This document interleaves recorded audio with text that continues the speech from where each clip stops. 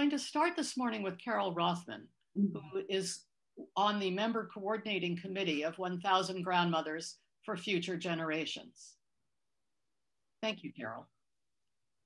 Good morning. A Thousand Grandmothers for Future Generations started back in 2016, working in solidarity with Native grandmothers in the Standing Rock struggle to stop the Dakota Access Pipeline. Next slide, please. We organized a fundraiser and film, next slide, showing for our Lakota grandmothers on the Cheyenne River Reservation in South Dakota. We've continued to work in close partnership with Indigenous organizations such as Idle No More Bay Area. Next. We don't use a biological grand definition of grandmothers, but we apply it to all elder women who are passionate about leaving a more livable planet for all of the children and coming generations. We also welcome allies of all genders to our actions and meetings. Next slide, next two slides, please.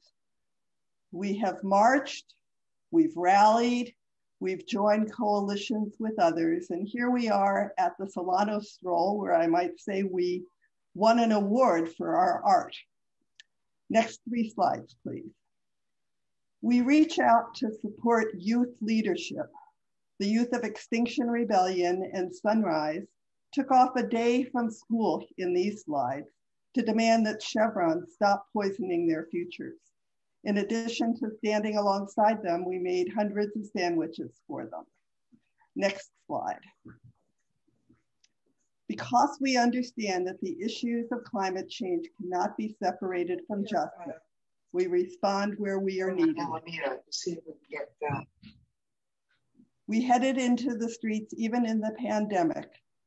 Next slide, please, to safely paint the streets in downtown Oakland to stop our democracy from being stolen. To do this long banner in the street, we worked with eight other organizations. Next slide. We've come out for immigrant justice. Next slide. You've probably noticed all the colors and vibrancy of our banners and our umbrellas. Art is really important to us. We have many women who put their art talents to work to bring beauty, hope, and inspiration to all that we do.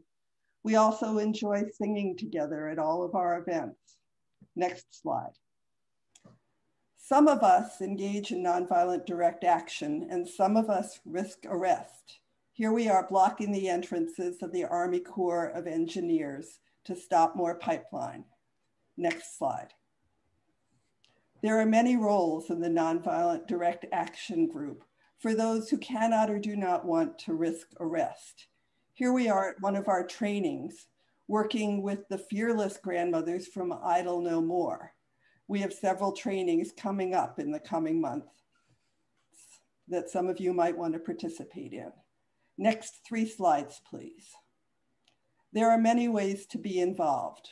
Recently, we organized a tremendous turnout in the last couple of years to stop the dredging of the San Francisco Bay, which would have meant large tankers coming through the bay that could bring filthy tar sands to be refined at Phillips Refinery in Rodeo.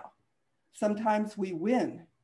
We've been part of the Protect the Bay Coalition, and together, after several years of bringing pressure and opposition, we've succeeded in stopping the dredging project from going forward. This means no tar sands in the bay. Next slide. Of course, the pandemic has changed everything, and we've had to think about what it means to be elder activists in the movement. We've done a lot of electoral work, writing thousands and thousands of postcards and making hundreds of phone calls during the election.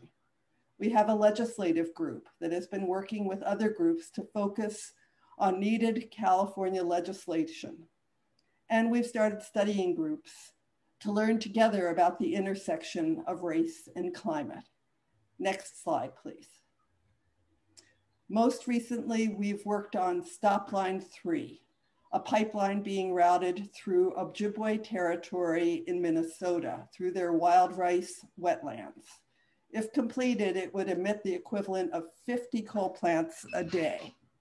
We raised $15,000 for supplies for the water protectors who are camping out in the frigid temperatures of northern Minnesota to stop the drilling beneath the Mississippi River. One of our grandmothers just left this morning to join them for a week and is bringing needed supplies and using her training to act as a medic. Next four slides. We've made banners, which then got used for a banner drop we did over Interstate 80 responding to the call to increase awareness and support Stop Line 3, something we need to push Biden to do as soon as possible. He started, stopped Keystone, now we need to get him to stop Line 3.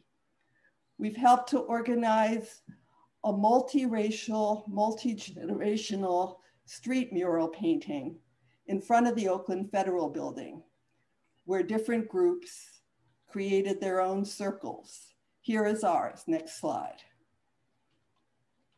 If you want to work with elder women, activist women for climate justice, Thousand Grandmothers is the place for you. Next slide. You can sign up on our email lists. Next slide. If you go to our website, which is here, it tells you how to sign up. You also can take a look at our Facebook and follow our Facebook page if you do Facebook. We look forward to working with you. Thank you very much.